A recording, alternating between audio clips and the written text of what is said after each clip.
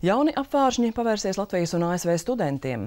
Izglītības ministrija plāno paplašināt angļu valodas apguves iespējas, izmantojot mūsdienīgas ierīces. Lai mācītos Amerikā, uz turieni pat nevajadzēs braukt.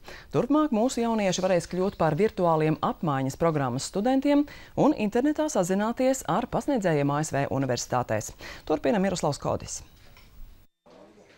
Ik gadu vairāki studenti no Latvijas apmaiņas programmās brauc studēt uz ASV, un pie mums brauc amerikāņu studenti.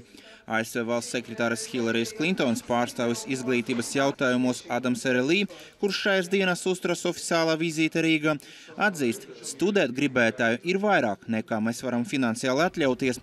Tāpēc šodien RLI kopā ar Latvijas pārstāvjiem atklāja jaunu programmu. Mūsu studenti un viņu vienaudži ASV var kļūt par virtuālās apmaiņas programmas dalībniekiem. Latvijas studenti internetā varēs sarunāties, dalīties pieredzē, savstarpēji sadarboties ar studentiem Amerikā. Latvijā ir daudz studentu, kuri gribētu studēt ASV, un ir daudz studentu ASV, kuri grib studēt Latvijā. Bet mēs visas apmaiņas studijas nespējam apmaksāt. Tāpēc mēs īstenosim studijas virtuāli un darīsim to 4 līdz 5 reizes gadā. Tikšanās laikā ar izglītības un zinātnes ministru Robertu Ķīli RLI aicināja arī pievērst lielāku uzmanību angļu valodas apgūvei.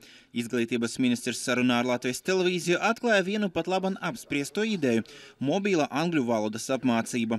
Mobilajiem telefoniem un planšetdatoriem tiks izstrādātas speciālas programmas un spēles, ar kurām Latvijas iedzīvotāji brīvajā laikā varēs mācīt angļu valodu. Cilvēki pat stāvot un gaidot autobusu vai kaut kur braucot vai stāvot rindā, var nedaudz pamācīties angļu valodu. Nu, nu, tiksim, Latvijā, kur ir ļoti labs pārklājums un kur diezgan daudz tomēr ir vietā, lai viņas runa, lieto, šis varētu būt tas virziens. Un otrkārt, tas ļoti labi sajiet kopā ar mūsu priekšstatu par to, ka arī skolās ar mobilām ierīcēm vai planšetniekiem tā apmācība varētu notikt. Ministrs atzīst, jaunās mobilā tālruņa programmas izstrāde prasīs pamatīgus finansiālus ieguldījumus. Kopā tos atradīsim, uzsver Ķīlis. To jau mēs runāsim ar mūsu pašu mobiliem operatoriem, ja, kas, un arī ar, ar telekomunikācijas operatoriem, kuri ļoti ar to. Nu, es centīšos ieinteresēt, lai viņiem tas arī ir interesanti, un mēs mēģināsim attīstīt to sadarbībā ar, ar, nu, ar nezinu, Latviju Telekom, LMT vai kādu citu operatoru, kuram tas liksies pie, pievilcīgi.